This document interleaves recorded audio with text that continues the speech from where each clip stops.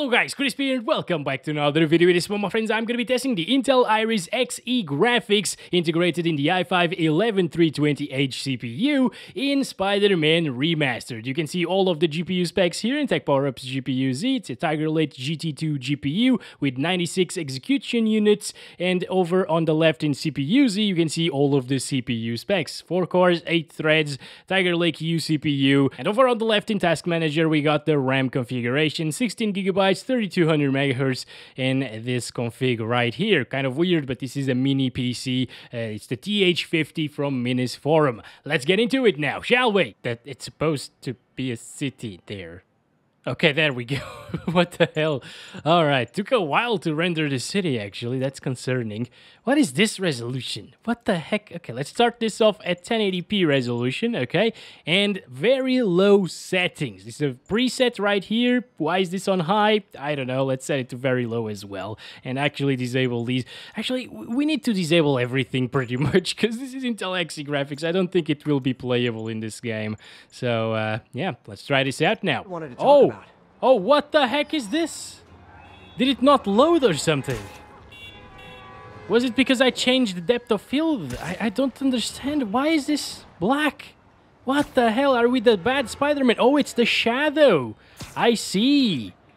It's the shadows. Look at this. Holy crap, that is insane. What the... I've never seen this game like this. I've seen it with weird shadow bugs, uh, with the RX 580, for example, and some of the other AMD cards, but not like this. What the hell? All right, I'll need to restart the game. to talk about. Right, so after a restart, it's exactly the same, guys. Wow. What the hell? All of the people here. I, I didn't notice that the, the streets were so crowded previously, honestly. Uh, but uh, this is this is stupid, actually. I think they have broken one of the settings with the latest update. I'm also using the latest drivers for the Intel Xe graphics, and uh, I now disable TAA, by the way, just to give it a little bit extra FPS. I think it is because of the ambient occlusion right here. As you can see, if I enable SSAO, it's good. Like the game, when it came out, HBAO Plus was having some issues, and now apparently only SSAO works, which is kind of bad, but uh, look at the FPS. It gets 30 FPS, and with it disabled, it gets 30 FPS, so it shouldn't really matter too much to the performance, and uh, well, like this, it is playable with these graphics. All right, let's start counting our FPS now that everything is applied and running as it should. And uh, take a little walk around here, or a little uh, fly. I, it's not a walk nor a fly. Let's take a little swing, shall we? so it's dropping into the uh, mid 20s, pretty much the same as we've seen previously with TAA and the buggy shadows, I guess. Um, maybe it drops a little bit more right now, but you know what? For Intel Xe graphics to be playing this game at 1080p resolution, although it's very low settings, still looks pretty good. And it's just amazing, right? Because out here, out of the Central Park area, it gets 30 plus FPS. That means if you lock the FPS to 30, it's going to be pretty stable and a console-like experience, or last-gen console-like experience at least. That's just crazy for integrated graphics, especially after seeing the GT 1030 struggling so much in this game with like 20 FPS, even lower than that at 1080p. Yeah, this is amazing, guys. I did not expect it to be this good, honestly, at 1080p. I thought it would struggle a heck of a lot at this resolution, but that is not the case. That means that we should probably test it out at 4K as well, right? That's a terrible idea, but I'm gonna do it. Because we're stupid sometimes. Yes, or I am. not you, I'm sorry, okay? So looking at the city from here, it does drop to about the same values as we saw in the Central Park area. But honestly, for integrated graphics, I think this is a playable experience still. Even though it drops to the cinematic frame rates, it's good for this kind of system, right? I, I can barely hear it as well. Yeah, what the hell? It's actually way more silent than when I was installing the game.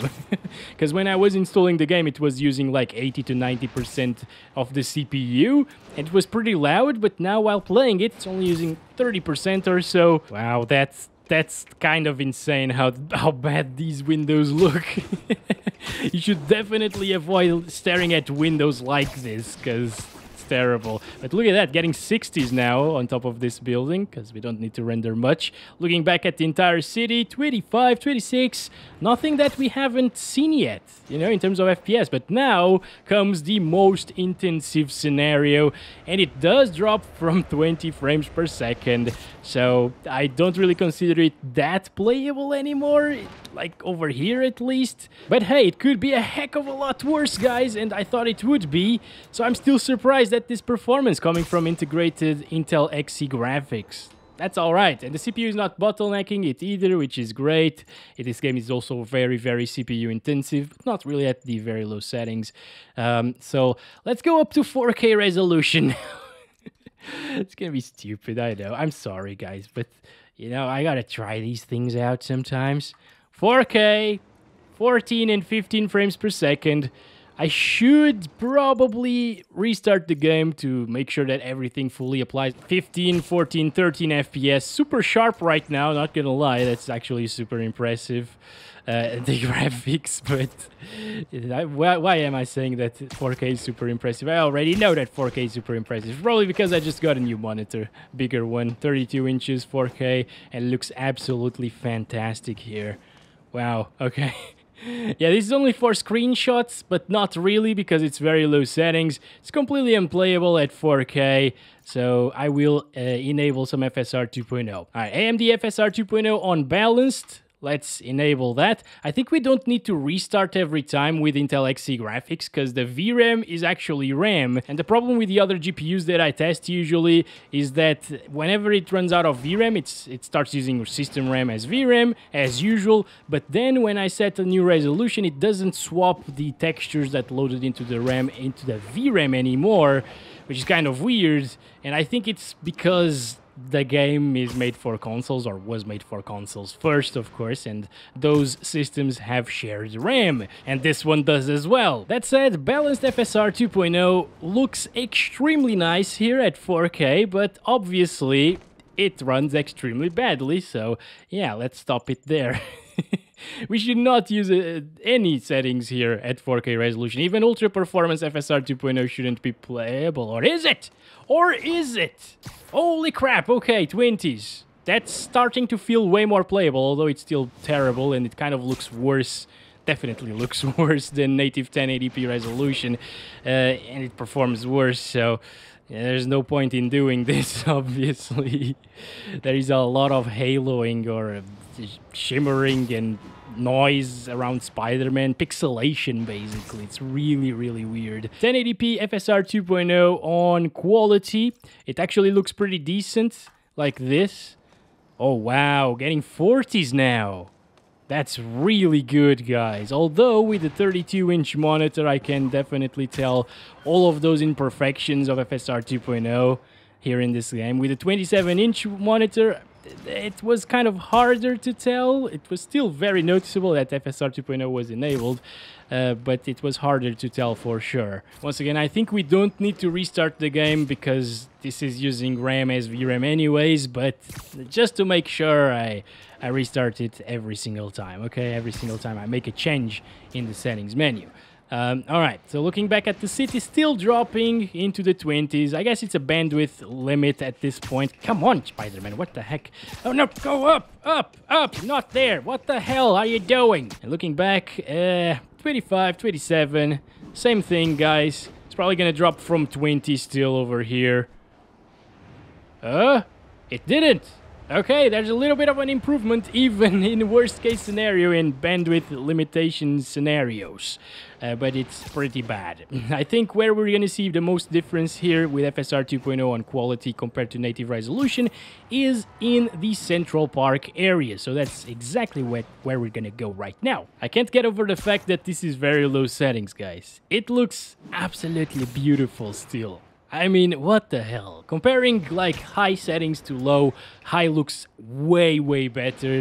Like when I test high and low in the same video. But here, well, since I don't have the high settings for comparison, and the last time that I played this game was like a couple of days ago, so I don't remember it properly, it still looks really impressive to me. Uh, I'm really curious to see like what the next gen integrated GPUs will do. By the way, that should be really, really nice. Imagine if we can play games at like 1080p high settings, 30 FPS. That would be incredible, right? With integrated graphics. And uh, all right, Central Park area finally. We got 30s now instead of like mid 20s. Still drops though. Not that huge of an improvement. I was expecting a little bit better, honestly. Yeah, I remember it dropping to like these same values previously, maybe even to 25 only. The same thing. Maybe we are still bandwidth limited in this area as well. I'm gonna disable this. We're gonna set it down to 900p. Okay, here we go. That's a very common resolution and uh, kind of adequate for Intel Xe graphics in a lot of titles. Okay, here we are looking at the Central Park from above. Not bad, 30s. Okay. What about looking in this direction? 40s sometimes. That's really impressive, actually.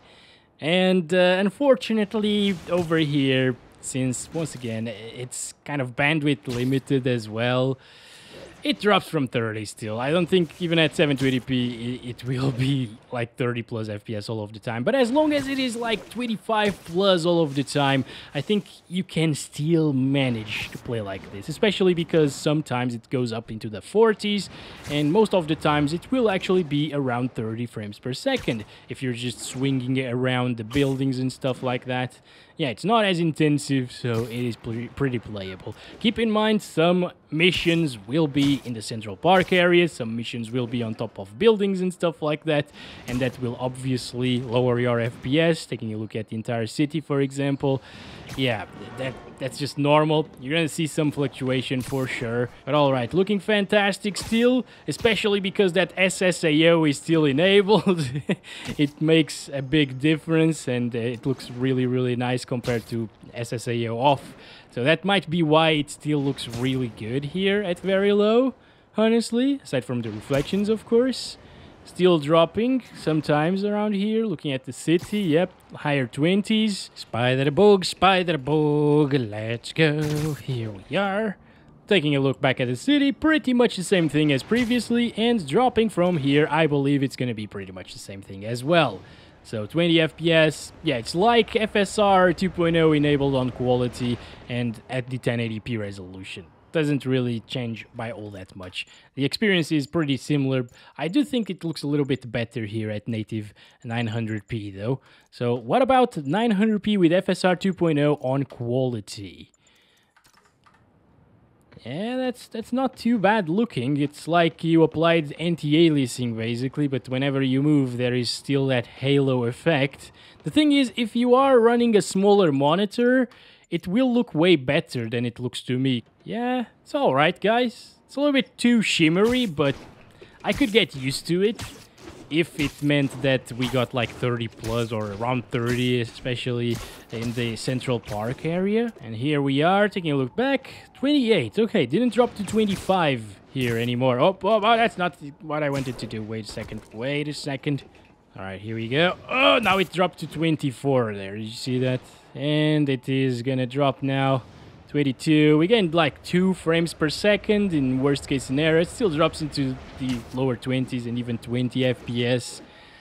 Again, guys, even at 720p, that's gonna be pretty much the same thing because uh, it's just a bandwidth issue at this point and a resolution drop doesn't really do anything in those scenarios. I think I would just choose to play at 1080p honestly because well, it, it, looks way better and the experience itself is actually similar. Sometimes it's more stable at the lower resolutions, yes.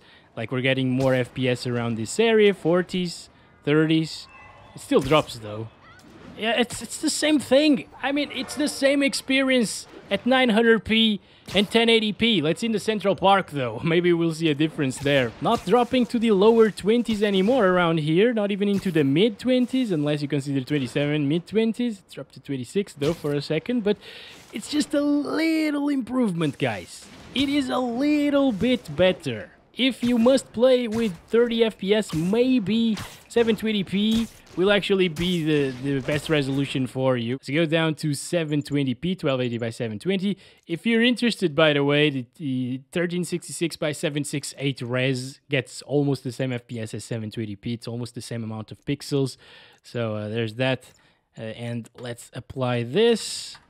Oh, getting 40s around here. That's nice. Just gonna restart it. Right, after a restart, it's pretty much getting the same FPS. Let's go. Start counting the frames here. Not bad so far. Let's go down there. Oh my gosh. Okay, okay, it started dropping already, but down here, it is way better, I guess. It is now above 30 at native 720p. And it looks sharper now than it did at uh, 900p with quality FSR because, well, it's just native 720 without any anti-aliasing. It looks really pixelated to me, but again, on a smaller monitor, it might look pretty decent. Alright, not too bad. It dropped to like what? 28 minimum? Maybe 27? Yeah, not... Oh my gosh. Alright, I, I, I'm not gonna say not too bad again, okay? I'm sorry.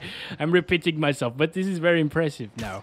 Damn, that is good actually for Intel Xe. If you don't mind the 720p res, and a lot of you will actually have this CPU and GPU combo uh, in a laptop, so on a like 15-inch laptop, it might look pretty decent at 720p, and it's almost always above 30 FPS. Most of the time, like 95% of the time, it's gonna be 30 plus.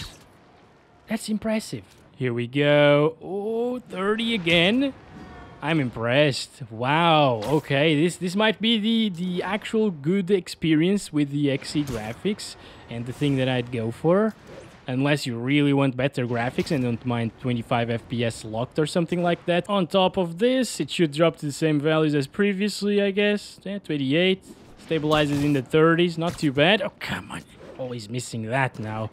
Ah, come on. Come on, Spidey. Let's go. No! Why? Why? Where do you even throw the damn uh, spider web? Like, there is nothing here. What the hell? Alright, let's go. Okay, finally. Dropping to 23, 24. We got a couple more FPS, I guess. It's not dropping to 20 flat anymore, but uh, it's not perfect either, obviously. Well, I, I, guess if you don't mind 25 FPS, uh, lock it to, to that value. You can actually get used to it and play at 25 FPS. After like 10 minutes, you're gonna get used to it. It's gonna feel like 30, I guess. Um, and play at 1080p. If you care about performance a lot, well, 720p is here for you. 48 FPS average is very impressive for this little uh, integrated graphics. So let's go to FSR 2.0 on quality. It's gonna be terrible. Oof. Lots of pixelation now. 28 still, it's gonna get exactly the same as without FSR, I think, here at 720p. Everything is blinking at the distance as well. Wow, I, I have not seen FSR being so bad uh, in this game previously with other GPUs, you know? Yeah, it's, it's gonna be the same thing, guys. I think I am gonna stop it. It's just not really that enjoyable here with FSR 2.0 at lower resolutions because it just looks terrible. Uh, so I will go ahead and test it out at 800 by 600 native resolution now. And that's going to be it for this video. Going to disable this because it looked awful. And let's go. Restart the game. It's interesting that it still stays at 16 by 9, by the way. Oh, that is I'm not sure if it looks better or worse than FSR 2.0 at 720p. it's not too bad because it's not stretched like 4x3 resolutions are usually. It still maintains the aspect ratio, which is good, like in Call of Duty, for example. A lot of games don't do that, but uh, yeah, this does, and COD Warzone and like GTA 5 also comes to mind. Oh my god, we're getting such higher FPS looking at this guy. 150, that's crazy. Alright, can we actually see any improvement here? Can we stay above 30 FPS looking back at the city? While dropping, it can't, but maybe looking back... 30 what? Or 30 was actually the minimum there, wasn't it? Wow. Of course, here it still drops, even though it looks like crap. Again, bandwidth limitation. I, I, I gotta stop saying that, you already know, right? But uh, that was impressive up there, you know. Didn't drop from 30. And over here, it's not really dropping by all that much either. I mean, would you play like this? Honestly, I, am asking you guys, please answer in the comments below. I want to know if somebody out there is willing to play at 800 by 600 like this with to achieve like 30 plus FPS 95% of the time or something like that. I played a lot of games back in the days at 640 by 480. This is a step above that, so it's not too bad looking. You can actually get used to all of that shimmer and pixelation. And the 30 FPS feels good. It feels good compared to 720p. But I don't know. The 25 XP FPS experience at 1080p also looks pretty promising. I I don't know. Since this is a single player title, I might have gone for 25 FPS, 1080p, and play like that. But can't deny this is feeling really nice here. Doesn't drop. All right, so we found it. 30 plus FPS experience is possible. Oh, 28 there with Intel Xe graphics. It's not very enjoyable because of the graphics, but it is playable. It is decent and it is possible for you to have fun like this. And that's all that matters, of course. So thank you very much for watching this video. I hope it was informative to you. Let me know if you're buying this game with Intel Xe graphics. I'm not sure if I would, honestly, but if you are desperate to play Spider-Man, it is possible like this. So yeah, thanks for watching again. See you guys in the next one. Love you all. Bye-bye.